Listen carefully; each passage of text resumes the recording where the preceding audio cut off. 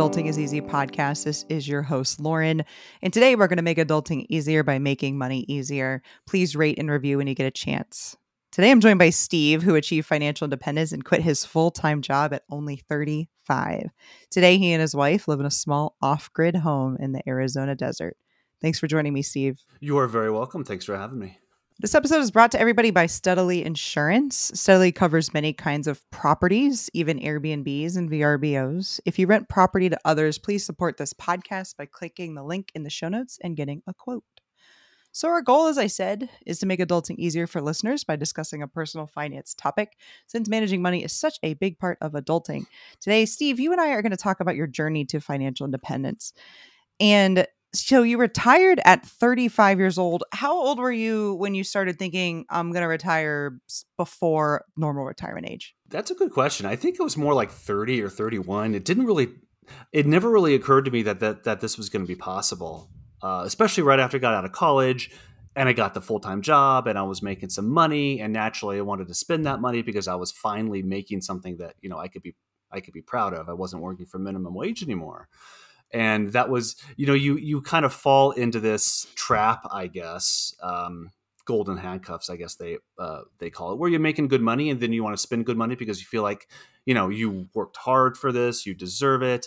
And you know if that goes unchecked and that very that was exactly what was happening with me um, it can get out of hand very very quickly and then nobody's retiring early Yes, that's a good point. So, and we often hear about this called like lifestyle creep. So, it's the idea of you make 10,000 yeah. more dollars, you spend 10,000 or even worse 11,000 more dollars than you were before, right? So, so you experienced some of that. I was going to ask you if you just were like good with money forever and super frugal, but you kind of did have some oh, lifestyle no. inflation over time.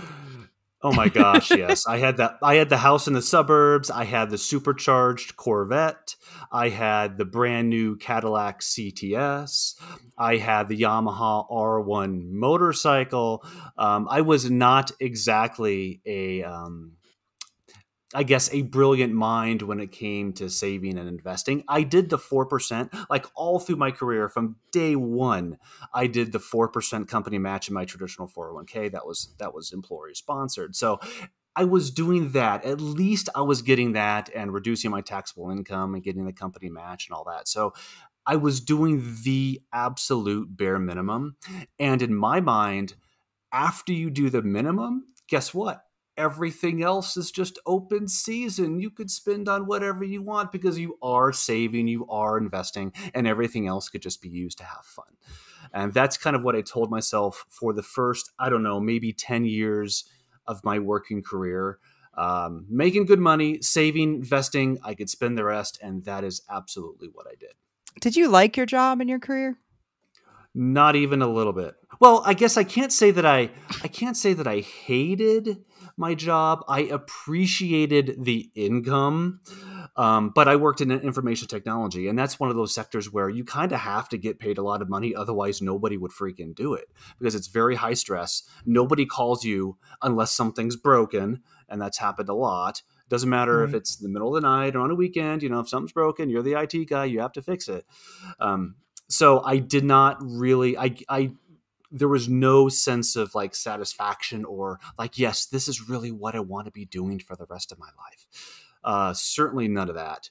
I stayed working as long as i did because the pay was so good um, but it certainly was not my passion not even close.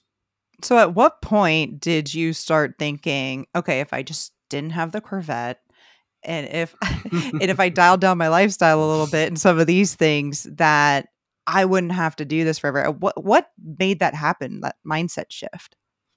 There was a there was one day I was maybe 31 or 32 at the time and I was in my house in the suburbs. I was walking out to my garage. I walked into my garage and I, w- I reached up to open up the garage door as I normally would. I, w- I was going somewhere. I think it was a Saturday, so it wasn't work or anything. But instead of opening up the garage door, something stopped me. And I don't really know what, but something something stopped me and I just turned around and I looked at what was in my garage in the dark garage. I had my Cadillac, I had the motorcycle, I had the Corvette. And then I finally, that was the very first time where I said to myself, you know, I have all of these things. I am the hallmark of success or whatever, but yet I'm still not happy. Like something's missing.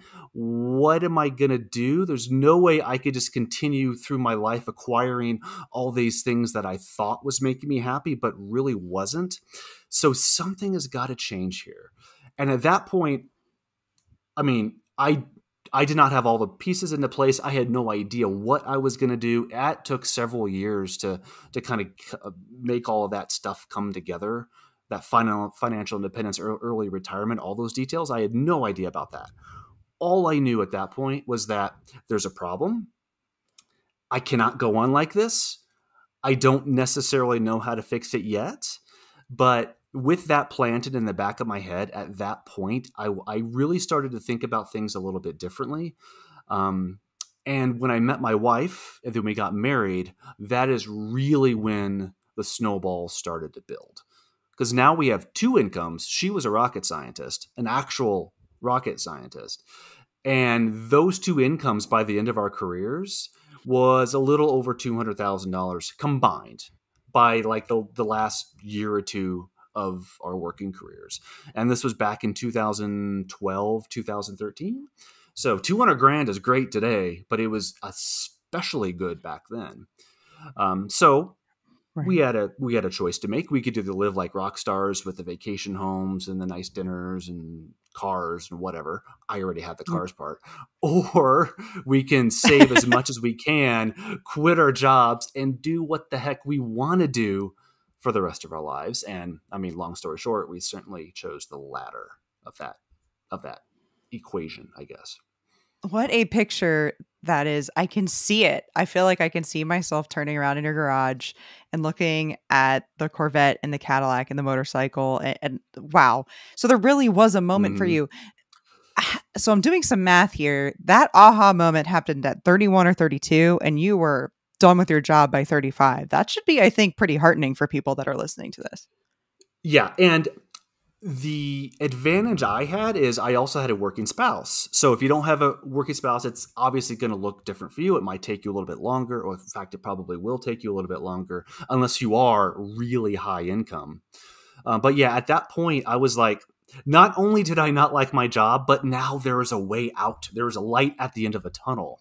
And there is nothing that was going to stand in my way to get to that light as soon as possible. So that just became our this all encompassing, I guess, goal for the next three or four years from that point. Save as much as we can, downsize our lifestyle, make as much as we can, which we already had a pretty good good feel for that, um, and then quit and live the rest of our lives doing what we want to do. And for the three years directly after we quit our jobs, we actually sold both of our homes. We bought an Airstream RV and we traveled the country for a living.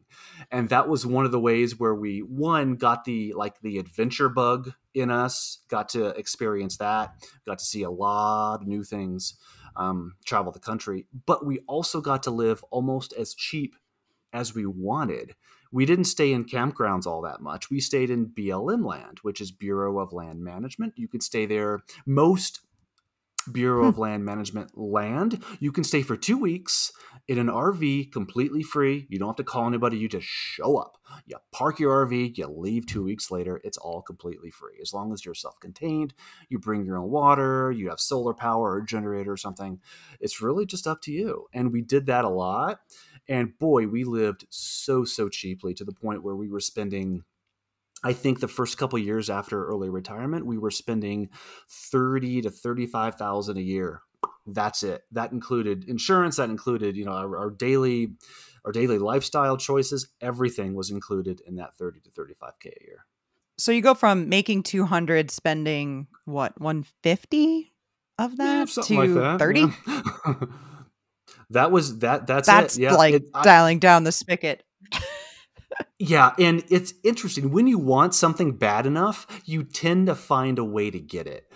I didn't want the high income. Yes it was great of course. It allowed me to retire in my mid 30s so i definitely appreciated that but just making money for the sake of making money, that wasn't moving the needle for me. It was the freedom of doing whatever I want for the rest of my life that took priority. So for a lot of people, I mean, cutting your salary to almost nothing when you're making so much money, that might sound like a horrific proposition. But for us, it was exactly what we wanted to do because we were no longer commuting. We were no longer answering to bosses. We don't even own suits anymore, or at least I don't own a suit anymore, no ties. It is a lifestyle of, you know, every single day you get up, you get to choose exactly what you want to do with your time. And for me, that was worth way more than pretty much any salary could have done for me. So, not asking for a friend, once you decide you want to do the financial dependence retire early thing, how do you stay engaged in your job from that moment until you're done? Boy, that was tough. Oh, that was really tough. A lot of people assume that, oh, once you have that exit strategy, everything becomes easy. You don't have to, you know, you you may have to deal with some things now, but you know you're not going to have to deal with those things for the rest of your life, and, and everything should just should be hunky dory. Everything should be easy absolutely 100% not true. In fact, the the the minute we decided to quit our jobs and retire, everything got tougher because I wanted to get to that point so fast that it's like, oh, I got to go to this meeting. Oh, next year I won't have to do this, but I really don't want to go. I just want it to be next year. You know, though that it was, it's way tougher. At least for me, it's way tougher than I think a lot of people assume that it's going to be. Once you have that light, you just want to get there as fast as possible. And I gave my boss six months notice. Thankfully, I worked for a nice guy, and he was like, Steve, I obviously don't want you to go, but if I were in your position, I'd probably be, be doing the same thing. And once my boss knew maybe things got a little bit easier because he wasn't looking at me like I was I was I'm trying to like rise up through the ranks and spin my career in this company. I was just doing a job and I was going to get lost. So I think the understanding between my boss and I kind of made it a little bit easier once that happened. Um, but it was certainly not an easy road after we had made the decision that's for sure. Yeah that's what we're experiencing right now is we have the vision we know what we want to do we know how we would design our days if we could but we've got yep. to hang in there a little bit longer. Yeah. So did anything surprise you about how you felt when you were saving like 70 or whatever percent of your income? I think the one thing surprise that surprised me is the things that you think you can't live without you can it's really not difficult. We're all adults here, right? I thought that I couldn't live without ESPN. I just had to have it. Then we canceled cable and I'm still alive. It's like, okay, this is this really isn't that big of a deal. Yeah, I might miss some things. I don't get to watch Sports Center or a game here and there, whatever. You know what? It doesn't matter. When you have when you have something to look forward to in the future, when you have a goal that you're saving for and all this work that you're putting into, you know, I guess, curtailing your lifestyle, it makes those sacrifices along the way a little bit easier to stomach because there's a reason that you're making those sacrifices. There's something that you're working towards. Um, so the for me, the most surprising thing is it's not that difficult to live a minimal lifestyle. It's not nearly as difficult as I thought it was going to be. The transition is tough.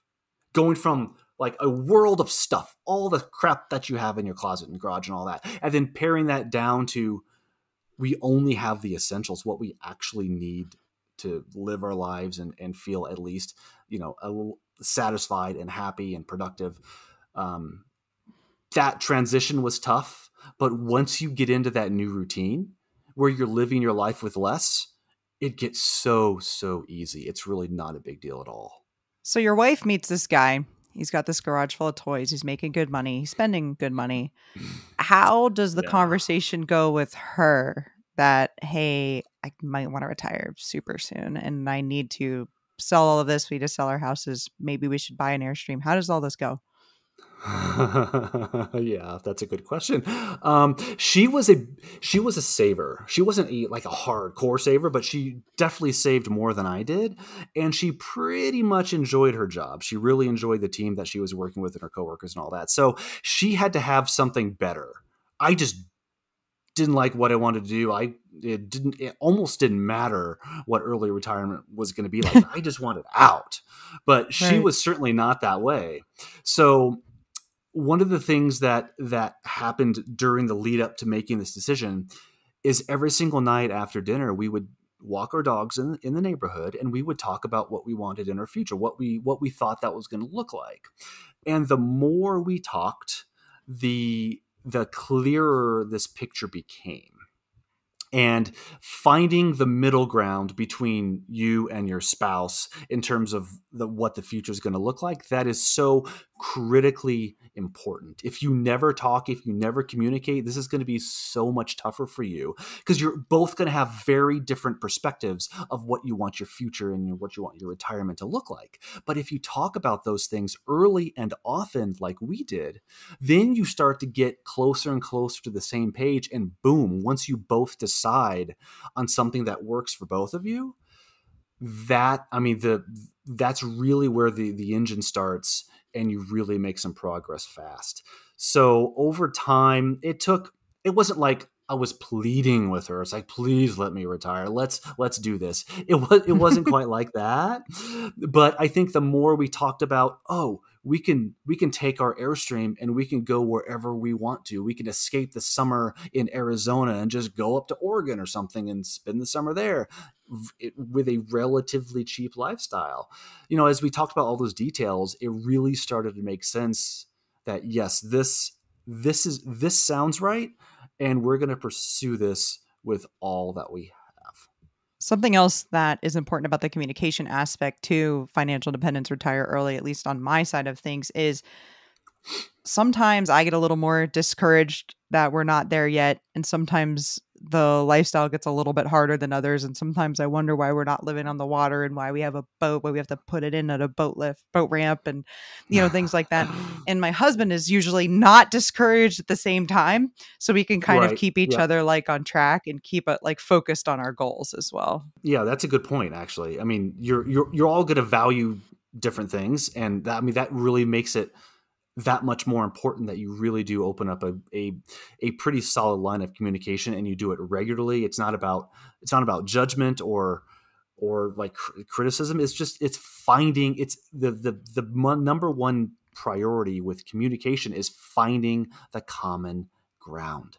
And you might have to sacrifice some they might have to sacrifice some but as long as you both feel content with yeah this is the solution and that's that's really where it all begins and things start to happen quicker than you would imagine especially if you both work. But even if you even if there is only one income uh, maybe the other person starts a side hustle or something or maybe you put in a little bit more more time at work um, get some overtime. Those things happen.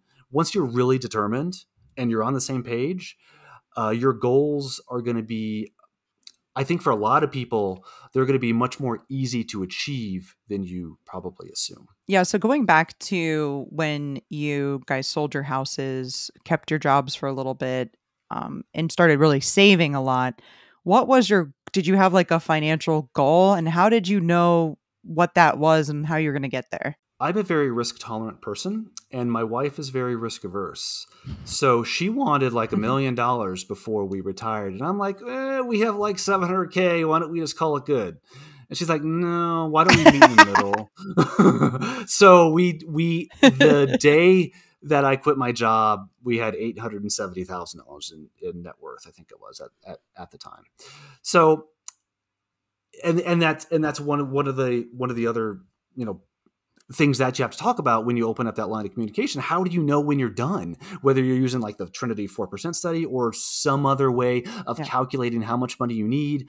Maybe you look at your lifestyle and how much you anticipate spending. And that's certainly what we did, um, especially after the first, you know, the first you know one two three years after retiring we were like how you know how much are we going to spend here as long as we spend between 30000 and 40000 a year we feel 100% confident retiring with a little under $900,000 in net worth because we know that over time the market is going to help us build wealth and we can live this lifestyle almost as cheaply as we possibly can so as long as we stay, stay disciplined which we did there should be no problem with retiring with that amount of money And in our, our case, there certainly wasn't because we were disciplined. The market was doing well, um, and we actually we actually realized that we can start spending more money than we had anticipated going into like year three, I think it was. It's like maybe maybe we do a few more things. Maybe we travel a little bit more, stay in more campgrounds, or buy you know top shelf booze, you know, whatever it is. We can start spending a little bit more because we really understand uh, our lifestyle and and what's going to make us happy and how much money that's going to take. Absolutely, and then inflation made that happen for you, anyways. So. well, especially yeah, now it's it's it's rough now with inflation and all numbers are pointing to a recession in 2023 nobody knows what's going to happen. I'm not trying to predict the future but it's now is an interesting time to be in the fire community because now it's really where all the the safeguards that you put in place like your emergency fund um, that's where it really comes in you have to start making some decisions, some potentially hard decisions about maybe cutting back on a few things if you don't have that consistent income. So uh, it's it's certainly been a roller coaster, but I think it's been an exciting one for us. That's for sure. It's easier to do this when you have high salaries than not. So for anybody out there that maybe isn't making two hundred thousand dollars as a couple, can they still do this? Sure, they can do it. They may not be able to do it at thirty five. And whenever I talk about my story, I really want to get this point across. This is not about retiring in your 30s. Not everybody is going to be able to do this. Yes, we did it. We both had high high incomes and we took advantage of that. But you might be surprised at how many millionaires there are out there who never earned six-figure salaries in their career. So this is absolutely possible, but it's going to take longer and it might take more of a sacrifice. But it is possible. Retiring at 45 is early retirement. 55 is early retirement. It's not about retiring at 35 or on my schedule. It's about your schedule. It's about what you want out of your life and what you see your future looking like. So don't use my retirement number as some kind of discouraging factor. Instead, really buckle down and take a look at your finances, how much you're you're bringing in, how much you're spending, what you have in investments and savings. And and really and that's really where it becomes it gets real that way when you're using your numbers and you know what you want to do in your future five years ten years 15 years down down the line. I, I think that is the most important part whenever you hear a story like mine is take the story as inspiration but don't judge yourself because you don't make as much money. That's fine. Few people do but if you use your salary in the right way and you're very efficient with your money and you save and invest, I think I think you're going to be able to retire sooner than you think you are. Well said. Absolutely. I just had to ask because, you know, we're both on mm. Twitter. We know what that's like. Oh, so Boy, we, we, talked about financially. so we talked about financially the number you need to re- needed to retire. Is there anybody personality wise or emotionally or anything like that is there any type of person who is not suited to retiring early yeah if you don't have a hobby if you have nothing to do if you love your if if your job is your only hobby I think that's a red flag. that doesn't necessarily mean you can't retire early because there, are many things that you can do as hobbies that you used to do as a full time job. So it, it's it it's not exactly like a one or zero or true or false or go or not go kind of thing. There's some gray area there, but you if you don't feel productive after you quit, you're going to have a hard time. You're going to have a really hard time. And I want you to picture something here. Picture a bell curve, right? So you're going through your career, you're unhappy, you want to retire early, and you're on this this this this plane of eh, it's fine, but I, I really don't want don't want to be doing this. You finally get to early early retirement, and your happiness just shoots right up. It skyrockets. You just could not be happier. You get up whenever you want. You watch Netflix. You you know you do whatever. But there's a point in time, and it might be two weeks. It might be two months. Heck, it might be two years. It depends on the person. But there comes a time where you begin to realize, I can't just watch TV all day. At the end of the day, if I've done nothing every single day, that starts to wear on you. We all need to feel productive. So that's at the top of the bell curve where your happiness stops increasing and it actually levels out. But it gets worse if you don't find a way to fix it. If you don't find that kind of purpose in your life, some kind of hobby or something else to do with your time, maybe volunteering, your happiness level begins to decrease and you get back down if it if it, if it stays that way long enough, you go back down to where you were before and you're not making the money that you were before. So it's possible that your happiness level is actually below what it was before. So that is the that's what I like to call the early retirement bell curve when it comes to happiness. So if you don't have something productive to do with your time, if you don't have a hobby, for me it's like getting involved in social media, and I have an ebook, and I have courses, and I, am I'm, I'm a big content creator. That's what gets me up every day, and I know you you are you are very much the same way. But if there's nothing out there for you, don't quit your job until you find it. That was amazingly said. Thank you. I also want to ask about living off the grid. How related is that to financial independence? Is it kind of a feature of it, or is it just kind of coincidentally something, a direction that you went? We never set out to live off grid. So I guess it's I guess for us it was more coincidental at least at first. I think we started to get a feeling for, you know, in the airstream when we can live on BLM land with solar, we provide all of our utilities. That was our first exposure to how cool it is to live this really highly sustainable lifestyle. And I'm not exactly this environmentalist kind of guy. I just like to know that I'm producing my own power. I'm recording this podcast with you on the solar we have right outside. I have no grid tie to the electrical system whatsoever. And yeah, it is cheaper, like zero, literally zero power bill, no water bill, no sewer bill, nothing. Wow. We have some property taxes, like a hundred dollars a year. Property taxes so low. So this lifestyle is definitely, yeah, I know. This lifestyle is definitely not going to be for everybody. However, for us, it really helps keep our lifestyle expenses down. And it's it's not as boring as you might think. I mean, yeah, there's going to be some city people where you just need the city stimulus, and that's fine. There's there's certainly nothing wrong with that. Um, but for us, it really started to it it put the pieces into place and let us, I guess, get a little bit more flexible, I'll say it that way, with our spending and what we can do because we know that we can cut back so much if we have to. Virtually all of our spending is is discretionary. I'll say that one more time. Virtually all of our spending is discretionary. And when you're in that um, when you're in that kind of scenario, when things do get rough, you can cut way back to almost nothing because you don't have those monthly bills. Amazing. So there's some people listening right now who maybe have heard of the financial independence retire early movement maybe haven't, maybe have been like, I want to be better with my money so I can even retire at 65. And this might be the first time that they're really thinking about, wow, I can retire years, if not decades before that. What advice do you have for them?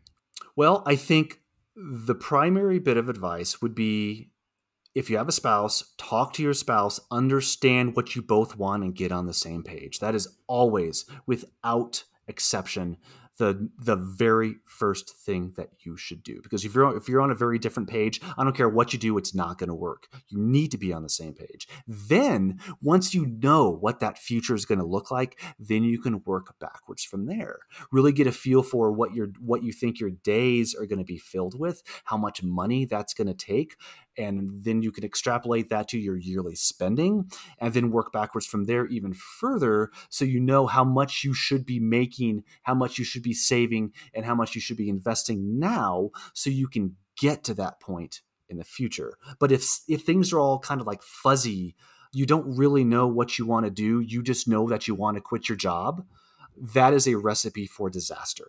So i really like to encourage people to not retire from something like retiring from your job. You're not doing that. You're retiring to something. You're retiring to your next life, your your next lifestyle. That is the important element that you that everybody needs to i guess keep in mind here you're not retiring from you're retiring to and once you understand what that to is it's going to be way way easier to figure out how to put the pieces into place to make that is there anything else you want to add before we wrap up you know i usually end with exactly that what what, what i just said so i don't think so all right perfect so steve why don't you tell people how they can get in touch with you I spend a lot of time, and I mean a lot of time on Twitter. My Twitter handle is Steve on Speed. The on speed part came when I would when I drove my Corvette. It has nothing to do with drugs or anything like that. I just like to drive fast. So that's where that's where that came from. I'm, I also have a blog at steveadcock.us, and I'm on Instagram at Millionaire Habits without the A and the I in habits. Millionaire Habits, all one word. I will put that in the show notes. I assumed Steve on speed meant you were speeding to retirement, by the way. That's good. I never thought of that.